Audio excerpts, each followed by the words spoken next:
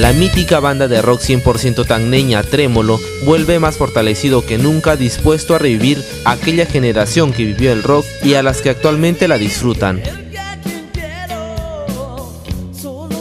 Bueno, eh, esta gira se llama El Retorno y el retorno porque después del accidente que sufrimos, entonces el grupo regresa, ¿no? Al comienzo no sabíamos si es que íbamos a, poder volver a escenarios.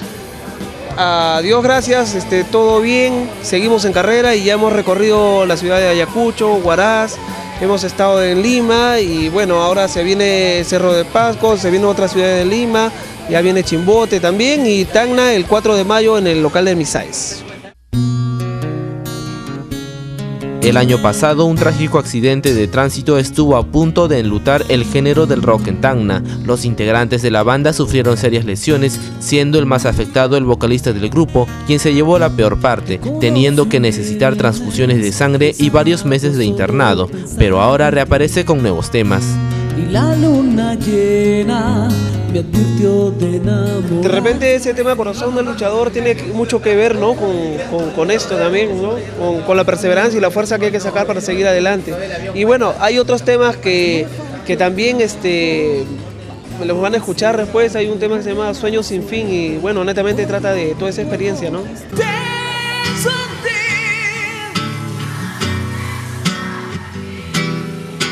La realización de tres discos marca su larga trayectoria en el rock y se encuentran a la espera de su realización de su cuarto disco, guardando como siempre el corte musical de fusión del hard y el heavy. Durante su concierto en Tacna, el grupo Trémolo obsequiará una guitarra firmada por sus integrantes, esperando una gran convocatoria. La, gente se tiene que poner la camiseta. Veo que hace tiempo éramos de repente una de las zonas más rockeras del país y así nos miraban en Lima y en todos lados, ¿no? Por todos lados. Chatagna rock, era, ese sinónimo, ¿no? Nos tenía así, Tacna es buena guitarra y todas esas cosas. Entonces se ha ido perdiendo un, poco eso. Las radios ya no ponen pues la música que ponían antes. Pero esperamos y tenemos fe que con esta nueva corriente rockera eh, la gente se va a volver a enganchar con, con la música rock.